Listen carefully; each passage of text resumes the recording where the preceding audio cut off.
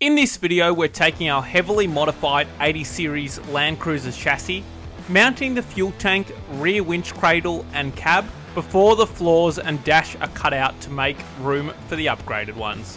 You've probably guessed it by now, but there's going to be a lot of CAD, CNC cutting, CNC folding, welding and fabrication along the way until we end up with something like this. For those of you who are new to this series, we're building a 500 rear wheel kilowatt 40 series on an 80 series chassis and there are detailed videos on the plan and build so far check out the link to the playlist in the description below. We left the last episode with a completed bare chassis after it had received extensive modification for suspension performance. We begin here with the CAD model of George's build. We won't be modelling everything as it takes a team of people years to get an accurate full car model.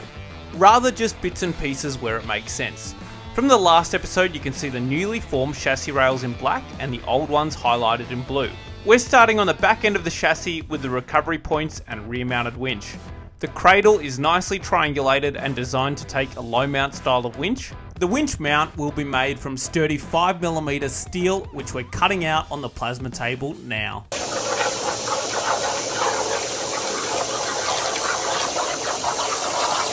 A nice clean cut in the end, Connor is now marking the fold lines before he takes it to the V-block press where the part will turn 3D.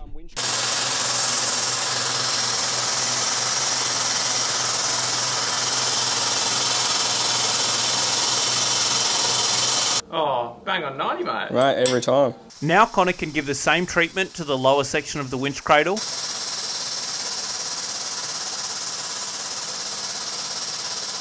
Oh, mate, look at that. Pretty good.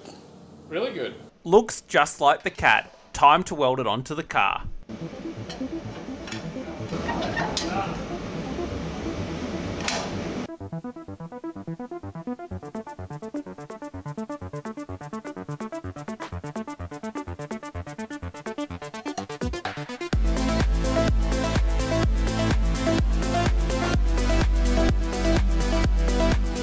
Oh, we just put on this um, rear winch cradle. You happy about it? Yeah, it looks good. What do you reckon?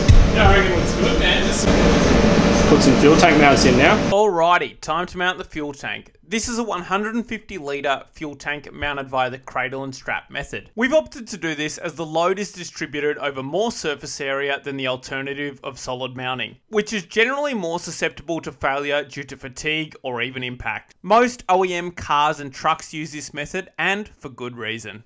The tank manufacture was outsourced and it's made from 3mm aluminium with internal baffles to make sure there's always fuel at the pickup. Due to the triangulated full link on this build, there is no other option than to mount it at the rear of the chassis. The first step to all this is to flat pattern the CAD of the cradle, export it to DXF and cut it out of 3mm steel on the plasma table. After that's all done, Connor can begin folding it.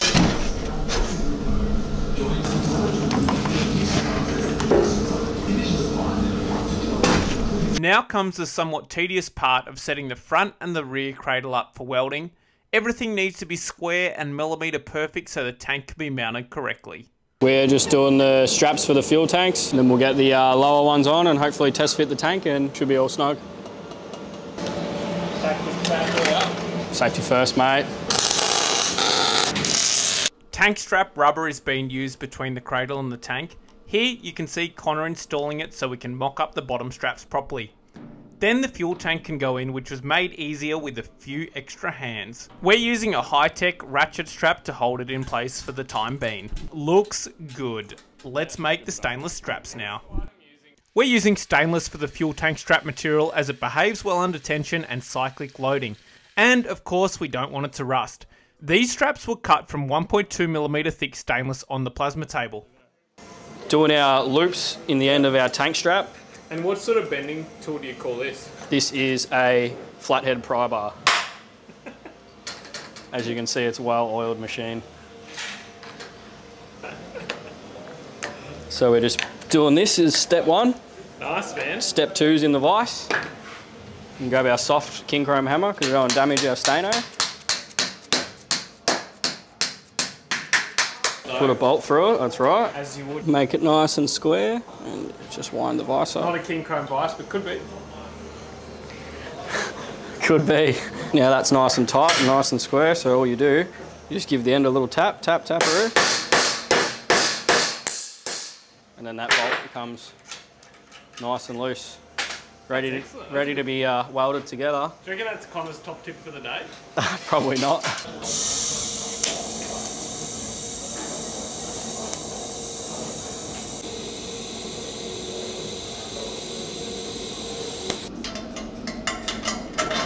Now that one end of the strap is complete, Connor can go about folding it to the shape of the tank. We're just setting the folder to our correct thickness for our material that we're folding.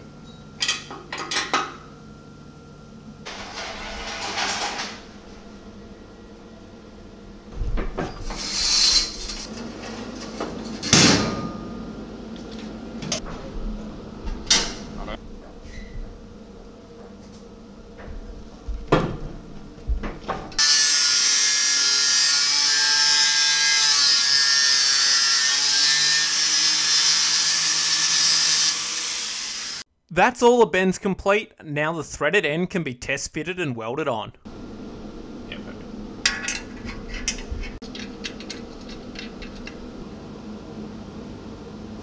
Connor is now drilling some holes so it can be plug welded from the other side.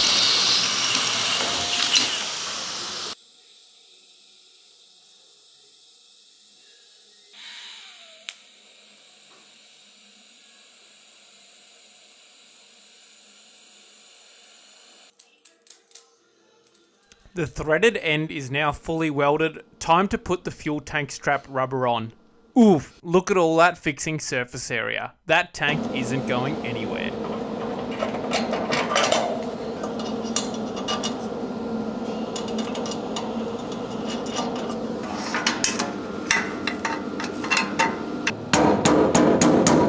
Shout out to the boys down at Kincrome for me hammer.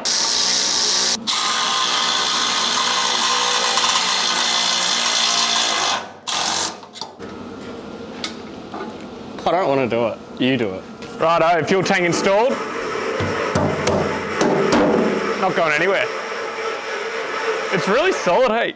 If you're building a modified 40 series, LCS offers a number of aftermarket fuel tank solutions with associated mounting hardware, so make sure you check out www.lcs4x4.com.au. The rear end is starting to look like the CAD now. One last thing to complete, which is those integrated rear recovery points. Yo, what are you doing? Just trying to pay my bill. These recovery points are made out of 16mm steel, which came off a laser cutter, and George is just cleaning them up here. Connor welds the recovery point into the chassis rail, and then the capping plate is cut out on the plasma table before it's also welded in.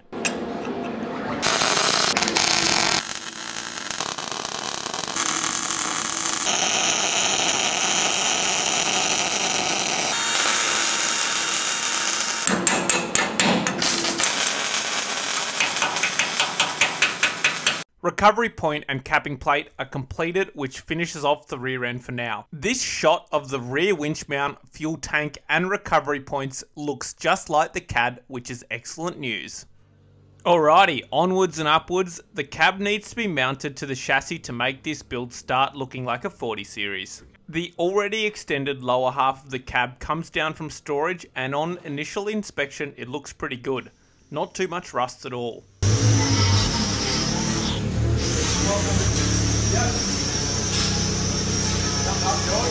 Uh, look, it suits you, George. Plenty of room behind. Look at that. Did you see was that low? Yeah, like that. This cab was bought as an unfinished project. It was already extended by 150mm behind the B pillar. It also had some rust repair done. Most of the holes had already been filled in in the firewall. It was in extremely good condition overall and we'd stumbled across the jackpot.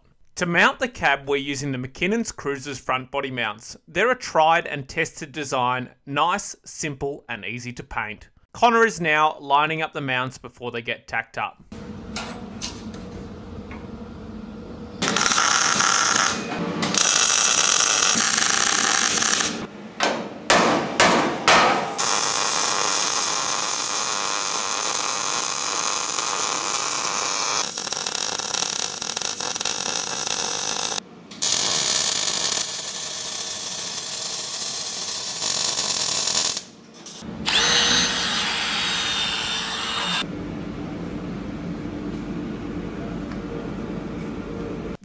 Comes with rear body mounts as well, but due to the custom nature of the chassis, we're making our own to suit, which is what's been cut out on the plasma table now.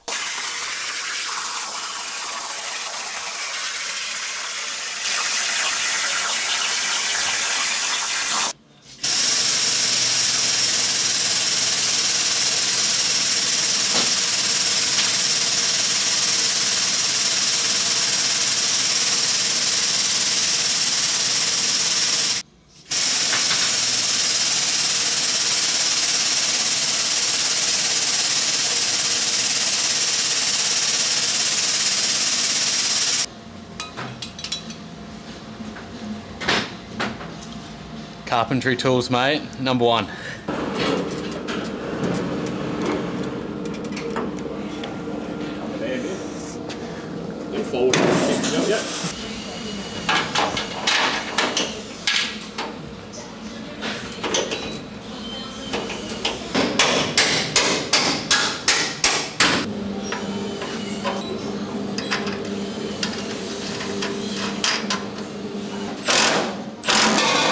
One of the advantages of using the chassis table for this build is we can quickly get accurate measurements like this one to make sure the cab is sitting level before we weld off the rear mounts. Mine, the camera there. I got it.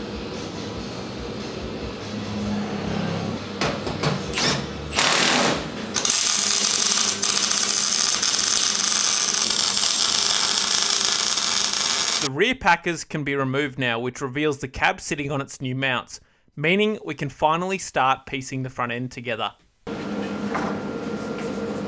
Rest the front. Wrap it back.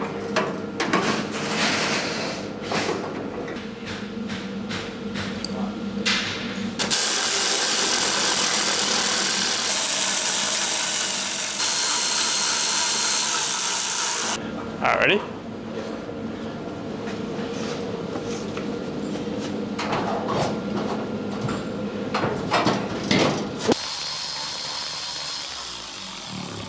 Once everything was loosely in place, we used packers to put it in a position we were happy with before cutting out a front bib mount on the plasma table.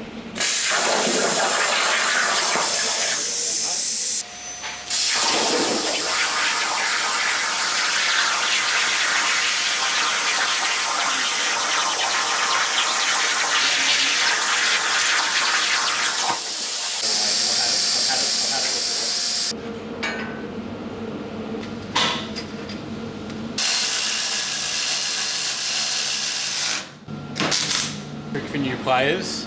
After 15 years, every day. That weld mask. In addition to the front bib mount, we made up some panel joiners between the Valance panel and the cab to ensure everything stayed square whilst we worked on it. The intention is to remove these later when the tube guards are all set up and we can mount off them. Time to put the windscreen on. Before putting the hinges on though, Paddy is running a tap through the 50 year old threads to make it easier for us in the long run.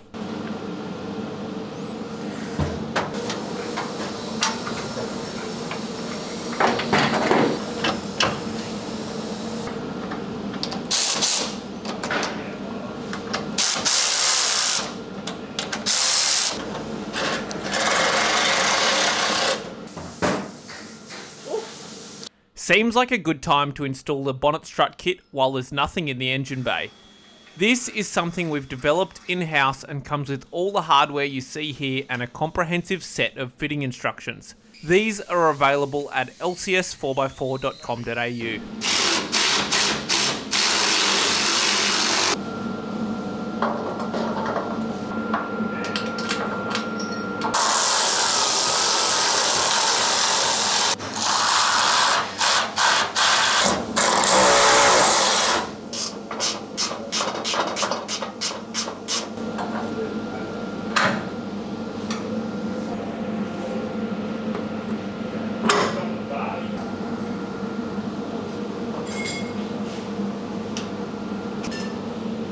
The bonnet strut kit looks good and so does the cab on top of the chassis. Time to install the new dash, floor pans and transmission tunnel. We'll look at the design later on, but first it's time to remove all the old parts. We're removing the dash. We're going to cut there, just through the first, that's double skin through there, so just cut through the weld. So drill out the spot welds, get the chisel on it, crack them all open, give it a wiggle and a tap, and the whole thing will just pop off. Excellent.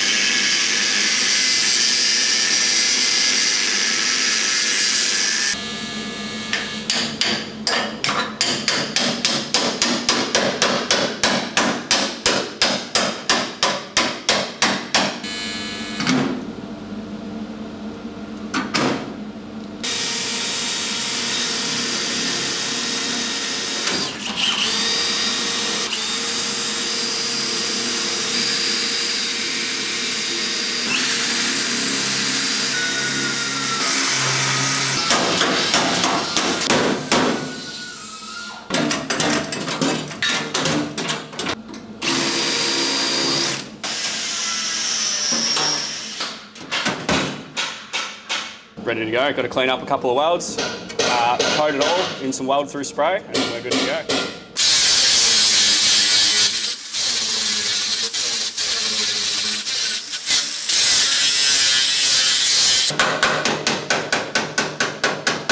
The old dash was no match for Connor and his grinder. Now he can begin cross bracing the cab before cutting the old floors out.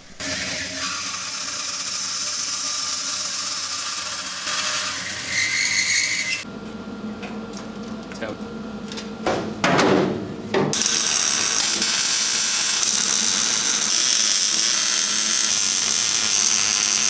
She's in there, she's braced, ready to go. Yeah? Cut the floor out. Nice and solid? Yeah, mate, she's not going anywhere. That's all we needed.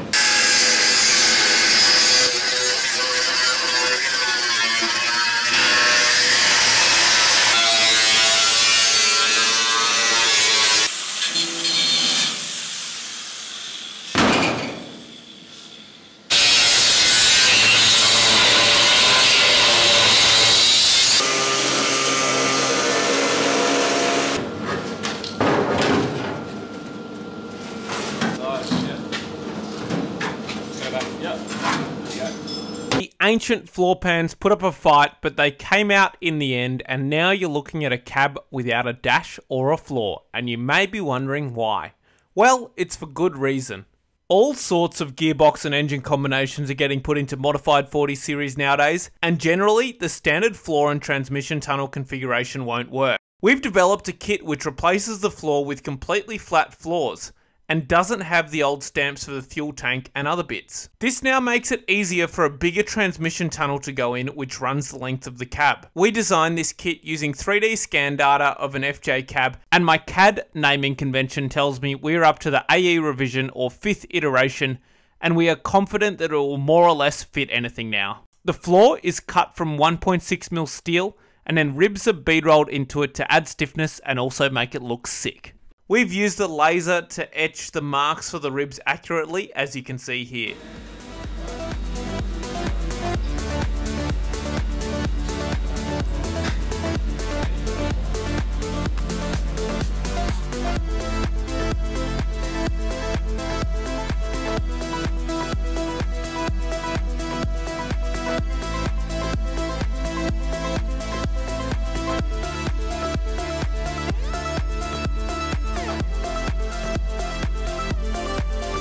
Once both sides are complete, Connor can put the returns in them to add strength. These were intentionally left until after the bead rolling so they didn't interfere with the bead rolling machine.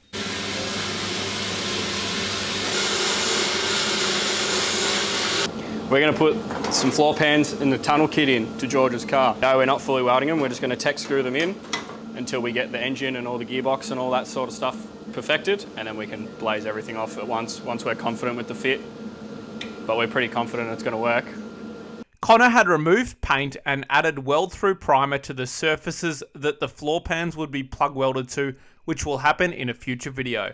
When the old floor pans were cut out, there was a lip which remained around the edge of the cab. You can see there are plug welding holes which the laser cutter cut out around the edges of the floor pan which will align with the lip. Connor is using screws to temporarily hold everything in place.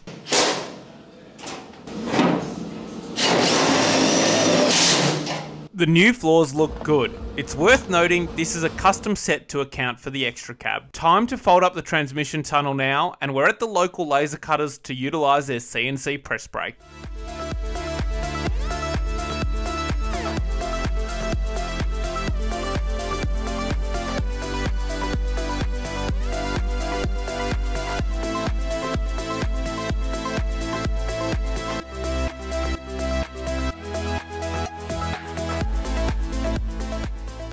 This is the completed transmission tunnel. The new design gives plenty of rearward clearance to any powertrain combo and makes jobs like gearbox and transfer case removal very easy. It's made from 1.2mm steel and features a removable lid with a 3mm rubber gasket which was water jet cut to keep the cab nice and dry.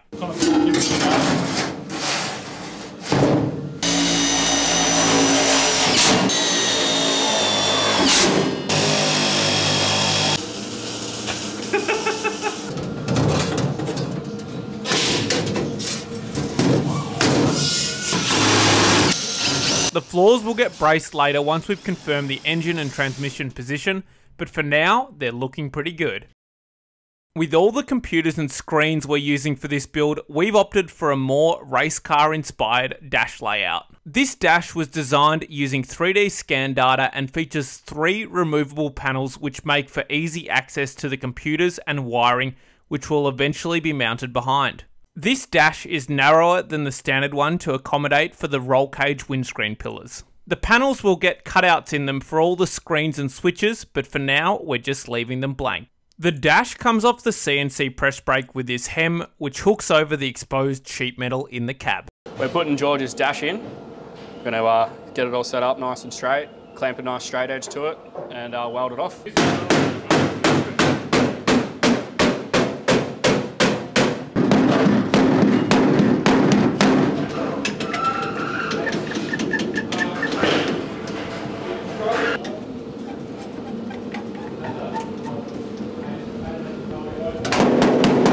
Like the floor pans, the dash has plenty of laser cut holes in it for plug welding, which is what Connor's doing now.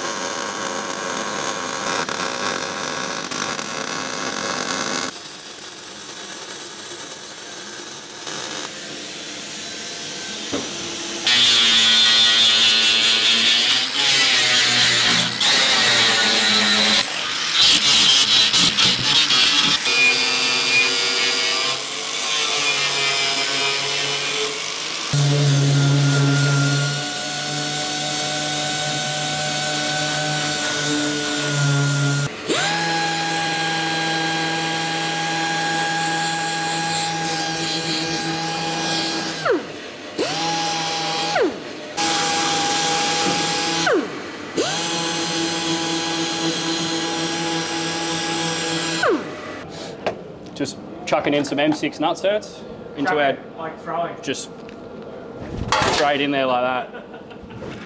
We're going to nutsert our M6 nutserts into the dash, so then we can insert our um, fascia panels on there. Connor is giving the nutsert gun a real workout, and after 29 nutserts, we're able to resume real time playback again.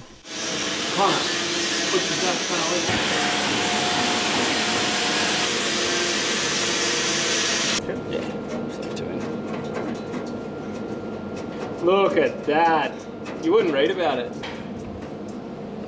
Teamwork makes dream work, mate. Looks good. That's the dash fully installed. We'll revisit this in the future to mount everything to it. Connor did a ripper job on the install and all the welds look extremely smooth. Let's look at some shots of the floor pan and the dash together now. They've really brought the build into the 21st century and it will make it much easier to shoehorn a modern powertrain in. These products are both available at lcs4x4.com.au and yes, will ship internationally. That's it for this episode. We've come a long way from a bare chassis. Stay tuned though, because next up, we've changed direction with the transmission on this build and we have to make a bell housing adapter to make it all work. And we're also going to get stuck into the bar work.